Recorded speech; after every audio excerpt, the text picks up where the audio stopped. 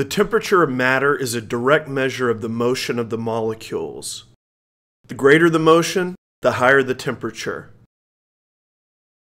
When studying the flow of energy during a chemical reaction, we need to distinguish between the system and the surroundings. The system is the small, clearly defined part of the universe that's actually being studied. The surroundings are made up of the universe and even the container in which the reaction is taking place. To clarify, the mixture of chemical substances that undergoes a reaction is always the system, and the flow of heat can be from the system to the surroundings or vice versa.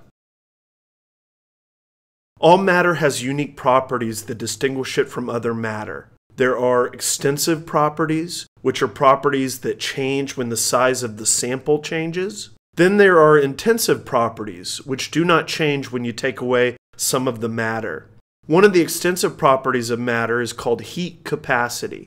Heat capacity is a measure of the amount of heat energy that's required to change the temperature of a pure substance by a given amount.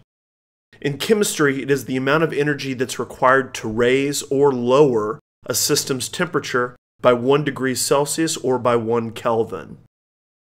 When an object is heated, its temperature may rise rapidly, which indicates that it has a low heat capacity. If the object's temperature rises slowly, then it has a high heat capacity. Generally, metals have a very low heat capacity, and it doesn't take long for them to get hot. And that's why you need hand protection when cooking with heat in the kitchen.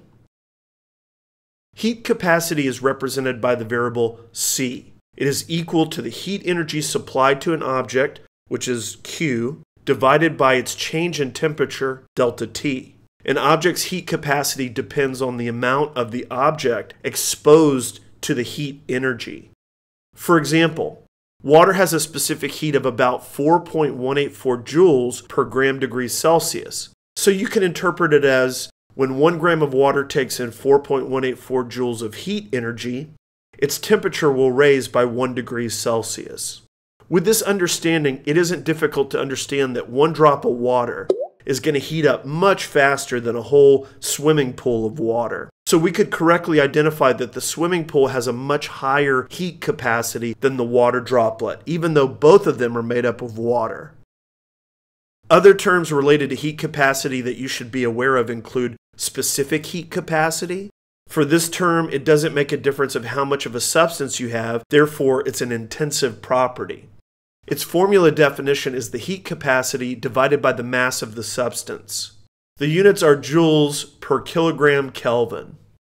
Another intensive property is the molar heat capacity, which is defined as the heat capacity divided by the molar amount of the substance. The units are joules per mole Kelvin.